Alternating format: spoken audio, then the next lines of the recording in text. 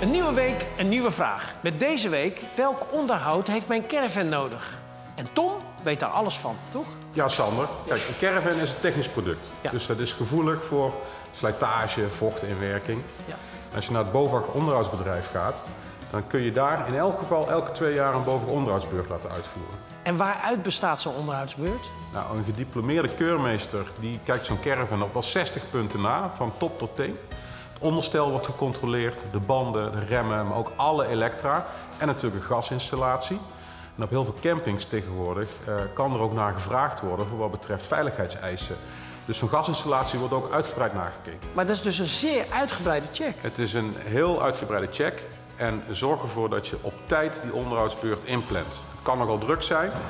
Als je dat nou in het najaar doet, als je net terug bent van vakantie, voordat de caravan de stalling ingaat, dan ben je zo aan de beurt, bijna geen wachttijd en in het voorjaar kan je zo weer op pad. Ja, slim. Kan ik mezelf ook na laten kijken? Ja, krijg je ook een sticker. Tom.